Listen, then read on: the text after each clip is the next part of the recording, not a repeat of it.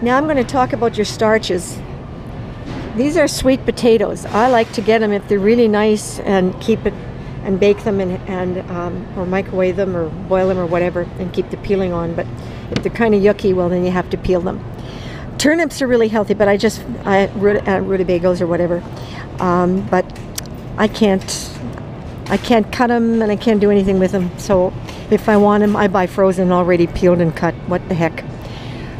You know, I, I, I'm not doing this for healthy people. I'm doing this for people who are chronically ill like me and going to make life easier. And, and I, it'll reverse brain damage. Providing you don't forget you got to have three okra a day.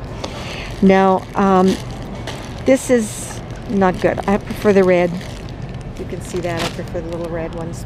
They're okay but you know, there's an awful lot of starch, and I can't think of other than potassium what's what's in a potato that's particularly healthy. I don't fry anything. I mean, I just don't. Um, butternut squash is really delicious and really super healthy, and it's got a lot of vitamin A, just as the uh, sweet potatoes do. So, um, I don't know about the other ones. Um, there's a spaghetti squash, but it has no flavor, and uh, onions. Onions kind of go with your veggies, of course.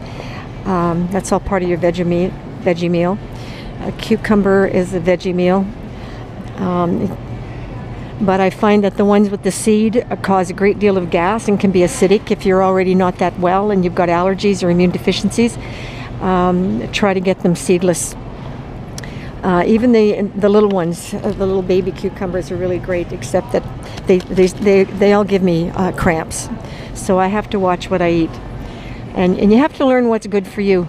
Okay, everybody's different. No two people are exactly the same. And make sure that you put some uh, garlic. Uh, Mrs. Dash is probably your best bet. Even the doctors in the hospitals will recommend Mrs. Dash. Uh, it's very low in salt and it, it'll, it'll increase flavor. And it's also very healthy. You could make a tea with it if you got a cold. Okay, so that's it for now. That'll just give you some ideas. Chowsy Wazzy.